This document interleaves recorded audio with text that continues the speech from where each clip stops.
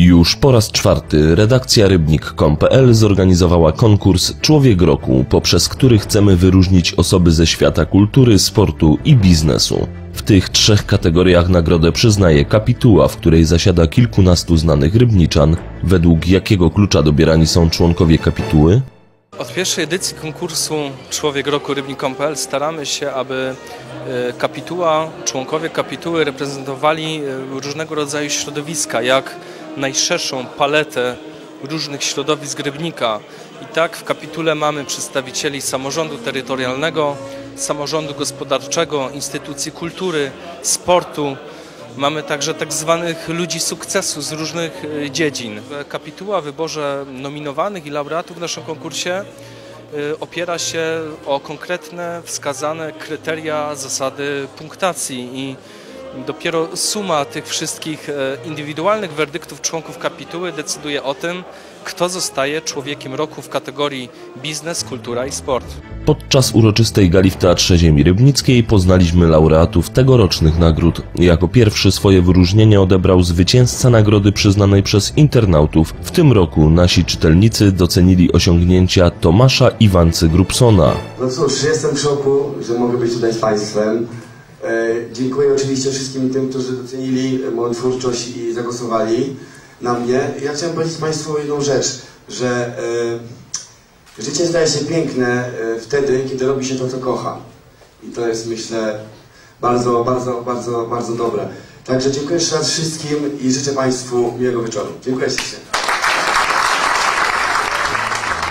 Kolejnych nagrodzonych wyłoniło głosowanie kapituły. I tak w kategorii Kultura Człowiekiem Roku Rybnik.pl została Jadwiga Demczuk-Bronowska. Warto dodać, że wcześniej to wyróżnienie otrzymali jej mąż Wojciech Bronowski i syn Bartosz Demczuk z kabaretu Młodych Panów. E, Bardzo jestem wzruszona. Wydaje mi się, że to jest nagroda nie tylko dla mnie, ale dla tych wszystkich ludzi, z którymi na co dzień e, współpracuję, z którymi e, rozgryzam, że tak powiem, te teksty poetyckie, prozatorskie, w kabaretach, skecze i tak dalej. To jest, to jest taka nagroda zespołowa, bo gdyby nie ci ludzie, ja bym nie istniała. No, dla kogoś pracując i mając z tego wielką satysfakcję,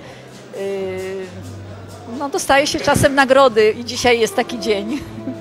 Bartku, jakbyś skomentował fakt, że już trzecia osoba z waszej rodziny otrzymała nagrodę Człowieka Roku? Bardzo się z tego cieszę. Yy, No, chronologicznie powinienem dostać ja jako trzeci, ale dostałem jako drugi, także cieszę się razem z kolegami oczywiście z kabaretu.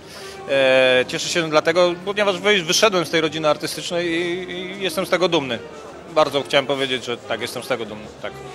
A w jakiej innej kategorii macie jeszcze szansę?